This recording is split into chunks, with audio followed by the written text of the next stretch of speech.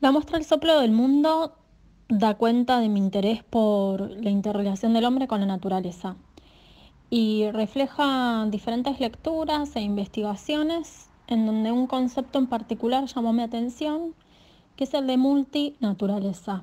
Es decir, diferentes escenarios naturales se dan en la contemporaneidad de manera simultánea y nosotros estamos inmersos en ellos.